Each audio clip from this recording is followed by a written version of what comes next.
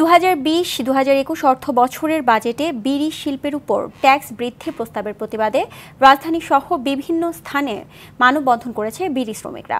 সকালে জাতীয় প্রেস ক্লাবে মানববন্ধনে বক্তব্য দেন বাংলাদেশ বিড়ি শ্রমিক ফেডারেশনের সভাপতি এম কে বাঙালি ও সাধারণ সম্পাদক আব্দুর রহমান সহ নেতারা। মানববন্ধনে বক্তারা বলেন, প্রস্তাবিত বাজেটে সিগারেটের চেয়ে বিড়িতে প্যাকেট প্রতি দুই টাকা বেশি ও শতকরা তেইশ দশমিক এক ছয় শতাংশ ট্যাক্স বাড়ানো হয়েছে। বিষয়টিকে বিড়ি শিল্পের জন্য চরম বৈষম্যমূলক বলে অভিযোগ করেন তারা।